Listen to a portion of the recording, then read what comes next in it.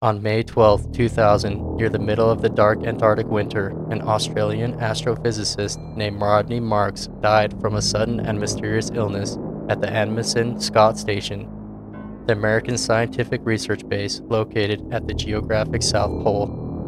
Because winter flights to the South Pole are dangerous, his body was kept frozen until the spring, when it was flown back to New Zealand.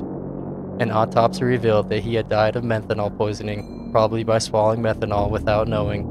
In 2008, the New Zealand coroner ruled that there was no evidence to suggest foul play, but the events surrounding Rodney Marks' poisoning have never been determined, and the case has gained a reputation in some news media as a first murder at the South Pole.